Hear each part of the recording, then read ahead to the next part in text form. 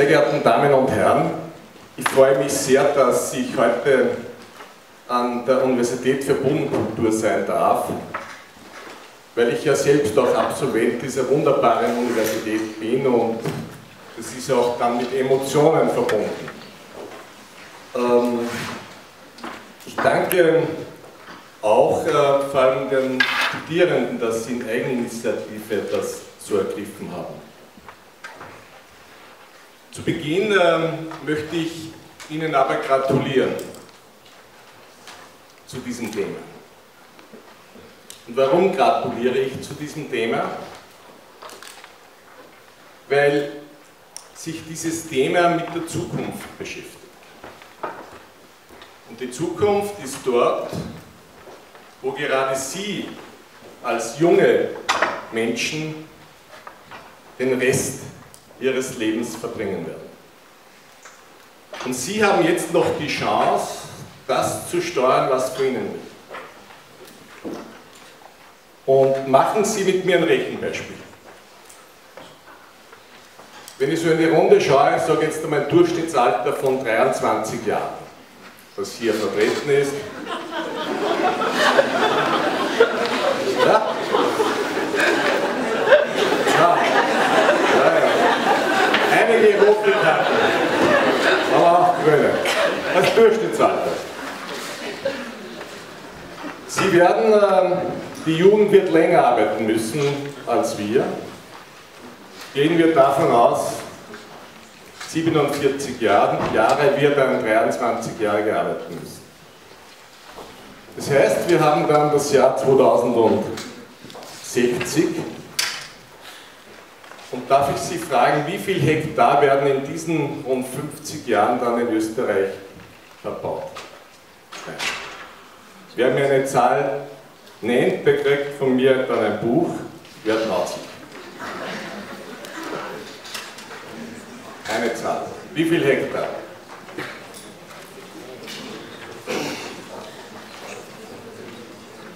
Gut.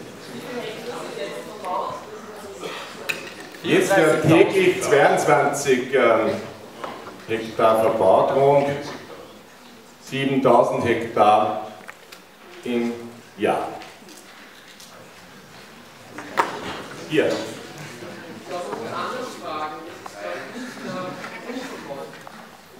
Kann man auch fragen, ja? Sagen Sie eine Zahl, was ist dann nicht mehr perfekt? Sie kriegen ein Buch dann von mir ähm, über die Zukunft, Zukunft als Auftrag und da sind auch schöne Beispiele drinnen zum Thema äh, Bodenverbrauch. Tatsache, ja, es sind 400.000 äh, Hektar. Wenn diese Anzahl an Fläche weiterhin täglich verbaut wird, das ist so viel, wie die gesamte Ackerfläche Oberösterreichs und Steiermarks zusammen. Nun ein paar Zahlen noch und, und Fakten, die das veranschaulichen sollen. 22,4 Hektar täglich, das sind in etwa gut 30 Fußballfelder pro Tag. Und wir haben auf unserer Homepage einen Counter äh, mit heutigem Tag wurden in Österreich vom 1. Jänner weg bereits wieder 330 Bauernhöfe versiegelt, verbetoniert und zerstört. Und äh, wenn Sie meinen, dass die Entwicklung rückläufig ist, dann ist das eine falsche Meinung. Hier die Zahl vom Umweltbundesamt.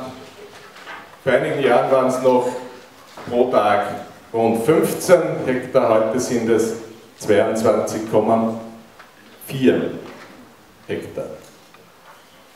Die Konsequenzen sind, äh, und sie wurden ja eingangs schon auch von meinen Vorrednern zum Teil angesprochen, dramatisch.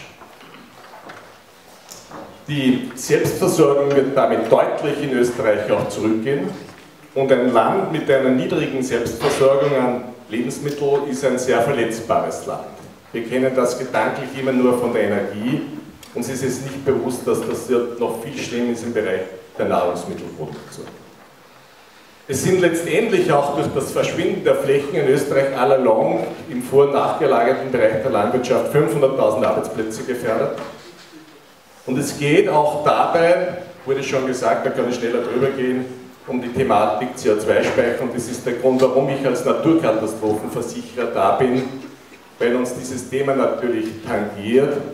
Wenn Klimawandel stattfindet, darf mich bei Frau Professor Krom-Kolbach für ihre vielen, vielen Initiativen hier bedanken, die ja als große Vordenkerin dieser Republik auf dieses Thema sehr frühzeitig aufmerksam gemacht hat. Und dann letztes noch, dieses wunderschöne Land lebt, lebte, sage ich, vom Tourismus.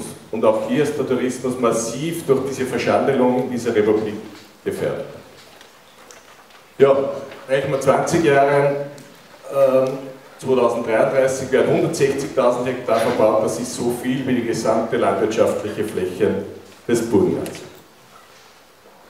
Und äh, das haben Sie mir schon beantwortet oder ist schon gesagt. Und ähm, wenn wir das hochrechnen, die Frage, geht uns das Ackerland aus? Antwort ganz klar ja. In 166 Jahren gibt es in Österreich kein Agrarland mehr. Das heißt, ähm, die Konsequenz können wir uns alle selber ausmachen. Gibt es Beispiele, wo es besser ist? Wir müssen blind sein, wenn wir das nicht sehen. Fahren Sie von Oberösterreich nach Bayern, dort gibt es eine geordnete Raumpolitik. In Österreich werden jährlich 0,5% der Agrarflächen verbaut, in Deutschland 0,25%.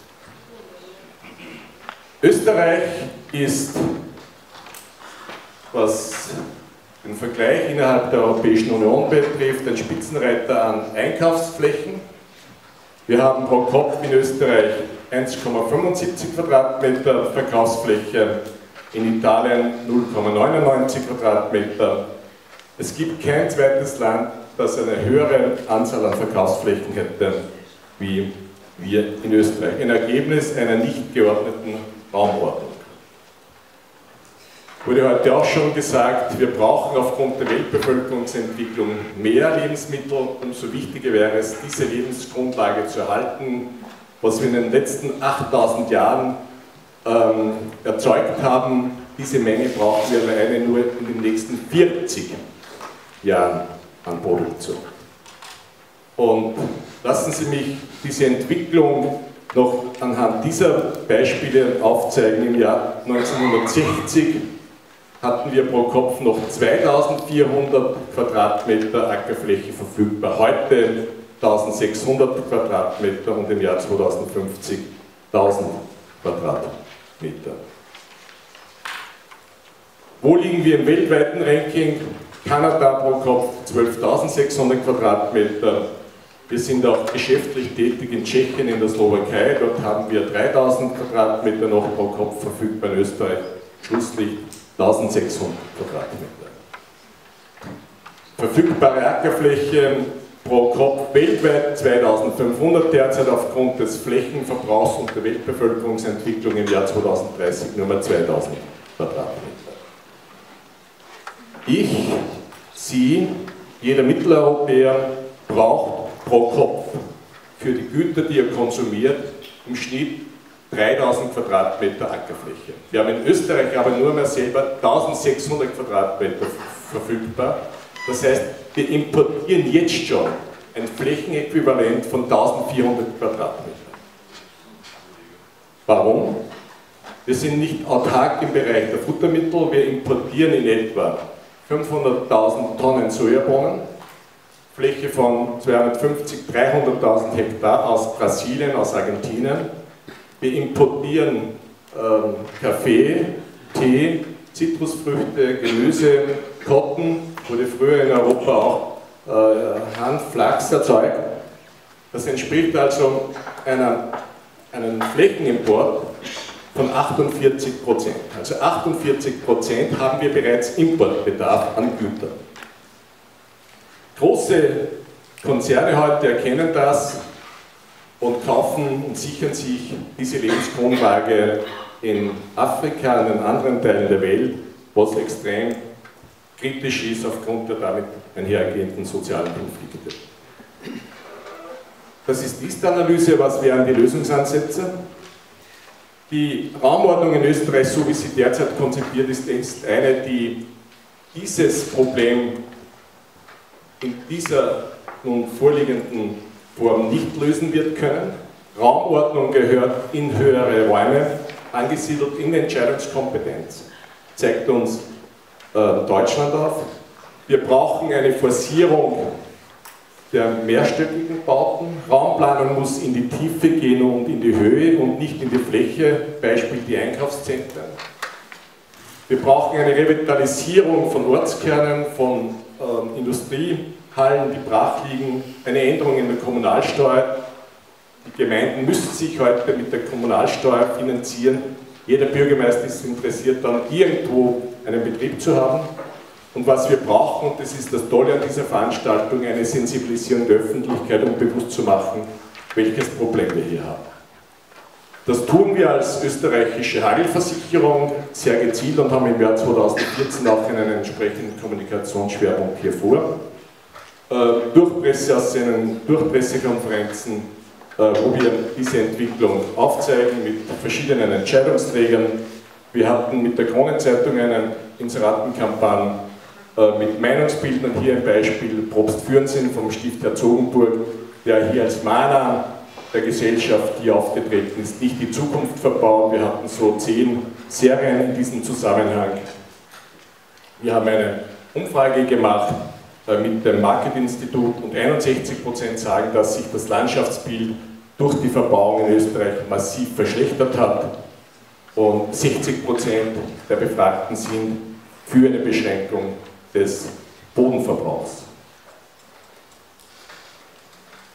Kürzlich eine Veranstaltung gehabt mit Tarek Leitner vom ORF, der ein sehr, sehr gutes Buch geschrieben hat zum Thema äh, Verschandelung dieser Republik. Äh, war eine Veranstaltung in, in Oberösterreich ja, und verschiedene Fernsehbeiträge, die wir initiieren.